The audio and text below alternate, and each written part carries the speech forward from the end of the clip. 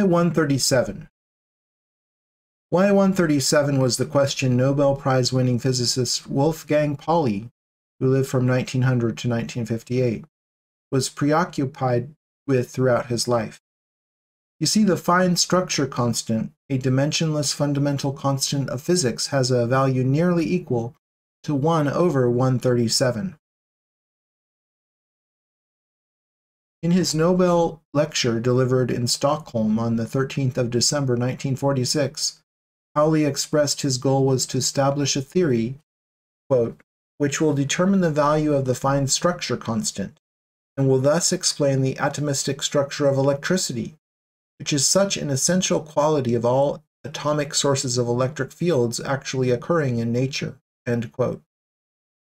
The charge of an electron is equal to the square root of the fine structure constant times 4 pi in natural units. Pauli famously quipped, quote, When I die, my first question to the devil will be, What is the meaning of the fine structure constant? End quote.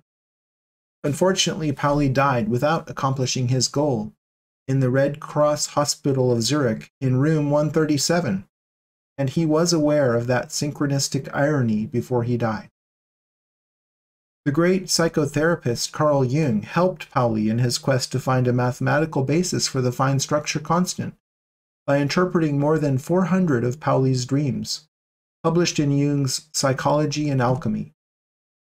Jung believed that Pauli unconsciously comprehended, quote, some grand cosmic order, end quote, Arthur Miller wrote a book about their collaboration entitled 137 Jung, Pauli, and the Pursuit of a Scientific Obsession. The brilliant Nobel Prize winning physicist Richard Feynman had this to say about the fine structure constant Quote, It has been a mystery ever since it was discovered more than 50 years ago, and all good theoretical physicists put this number up on their wall and worry about it. Immediately, you would like to know where this number for coupling comes from. Is it related to pi, or perhaps to the base of the natural logarithms, known as e? Nobody knows. It's one of the greatest damn mysteries of physics. A magic number that comes to us with no understanding by man. You might say the hand of God wrote that number, and we don't know how he pushed his pencil. We know what kind of a dance to do experimentally to measure this number very accurately, but we don't know what kind of a dance to do on the computer to make this number come out without putting it in secretly. End quote. Richard Feynman in QED The Strange Theory of Light and Matter, published in 1985. Here's a graphic of Belshazzar's Feast by Rembrandt, painted in uh, 1635 where you see the handwriting on the wall, and I've altered that to show the fine structure constant alpha is approximately 1 over 137. Curiously, the Hebrew word meaning Kabbalah takes a gematria value of 137. The Bible says Ishmael lived to the age of 137. The Koran says Ishmael is buried next to the Kaaba in Mecca. Quote, Symbolically, this is the threshold be between the physical dimension and the utterly spiritual dimension. In other words, at the boundary line of the physical wor world, the number 137 emerges. Physicist Leon M. Lederman numbered his home near Fermilab 137, based on the significance of the number to those in his profession. Lederman expounded on the significance of the number in his book, The God Particle, if the universe is the answer, what is the question?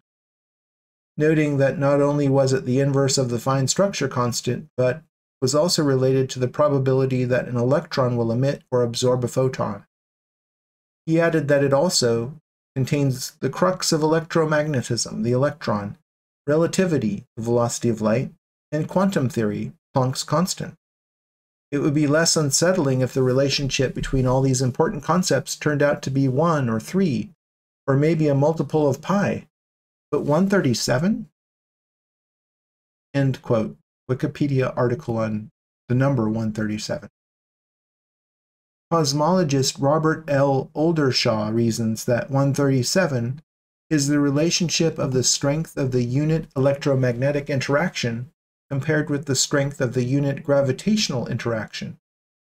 That sounds pretty fundamental to me. Strangely, approximately 137 times 10 million years have elapsed since the Big Bang. In the Bohr atomic model, the innermost electron of a hypothetical atom with the atomic number 137 would be orbiting just below the speed of light, and the next heaviest element would be impossible, because its electron would have to exceed the speed of light. Atoms close to the theoretical limit of 137 are unstable and not found in the universe. The fact is, the fine structure constant is not exactly 1 over 137, the currently accepted value is 1 over 137.035999074. That's CODATA 2010. The denominator of the constant is called alpha, and it is slightly larger than 137. In order of increasing accuracy, here are various thinkers' attempts to discover the math between 1 over alpha. And there's a graphic here that shows numerous different equations that involve phi e 1 over phi pi and all threes, which is my equation. I learned about most of these discoveries from an outstanding paper called Dimensionless Physical Constant Mysteries by He Zhao. My illustration of the golden angle below is coincidentally exactly equal to Bohr's formulation of alpha, which is 360 divided by phi squared. The golden angle controls plant patterning of repeated biological units called phyllotaxis and governs the geometrical optics of rainbows. More info on these subjects is available in The Divine Proportion, my book. It is worth pondering whether phyllotaxis and or rainbows are ultimately governed by the golden angle or alpha. They are 99.7% equivalent. The equation by D. Beer from 1973 is actually from his book USP-A Physics for Flying Saucers. I had to work out the math to find the hidden formula for alpha, and it turns out to be an elegant one, which comes out of comparing electrical inductance in a loop with the fluid mechanics of a vortex. It is fascinating that putting the math together from these two different but analogous phenomena, magnetic vortex versus material vortex, yields an approximation of alpha. This might be an avenue for more research. W.A. Harrington contacted me a few days ago because of my work on the divine proportion and shared some of his complex equations related to the fine structure constant. One of his is shown above. What little I understand of them inspired me to dig deeper and attempt to answer Pauli's question myself. Why 137? In this blog post, and my whimsical formulation of 1 over alpha is the result. W. R. Mellon's equation is elegant because it is simply the hypotenuse of a Pythagorean triangle. However, it doesn't tell us anything about 137 comes from. In my final formulation for 1 over alpha, which was revised in January 2016, the repetition of digits was the key, and it resonates with the fact that 137 is the 33rd prime. I was able to figure it out because one of W. A. Harrington's formulas for 1 over alpha has a value of 137.037.037.037 dot dot dot. And I recognized that repeating pattern. When I cracked Jules Verne's code in quantification for 20,000 Leagues Under the Sea was a journey of 111,111 kilometers. I realized that 33.333 cubed is equal to 37037.0, dot dot dot. And this led to the following equation with error in parts per million. The bars above three of the digits indicate eternally repeating digits. An approximation of the ratio of a circle's circumference to its diameter can be expressed in terms of alpha and repeating threes. The way I exactly expressed phi and its reciprocal in the divine proportion was another repetition of digits, but in that case they were fives. Feynman called Euler's identity our jewel and the most remarkable formula in mathematics. It normally takes the form you can read about on Wikipedia, but I came across an alternative, alternative formulation of Euler's identity in Zhao's paper, and I think it is even more beautiful because it relates E, I, which is the square root of negative 1, pi, phi, and lowercase phi, which is the reciprocal of phi. All fundamental constants others have used to express alpha. So what I'm calling the most beautiful equation of mathematics is e raised to the power of i pi plus phi equals lowercase phi, or 1 over phi. The above equation is a kind of mathematical poetry connecting four of the most important constants. The poetry is beautiful because of this elegant interconnection.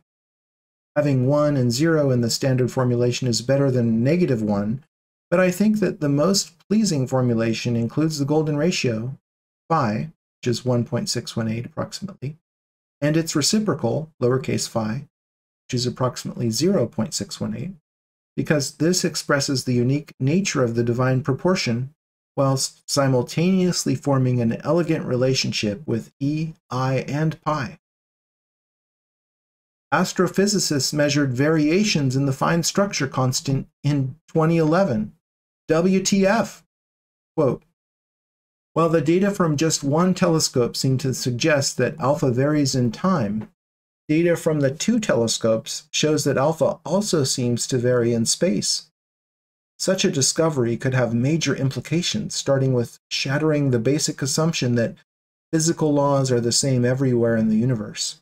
The results also violate the Einstein equivalence principle and suggest that the universe may be much larger than currently thought or even infinite in size. If alpha were just 4% bigger or smaller than it is, stars wouldn't be able to make carbon and oxygen, which would have made it impossible for life as we know it to exist.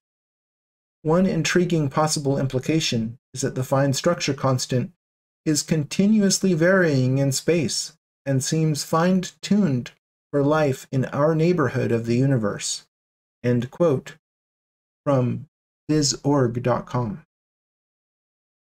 Fortunately for us, the amount of variation is 4.1 sigma to 4.2 sigma, which means we only have confidence in alpha to 99.99%.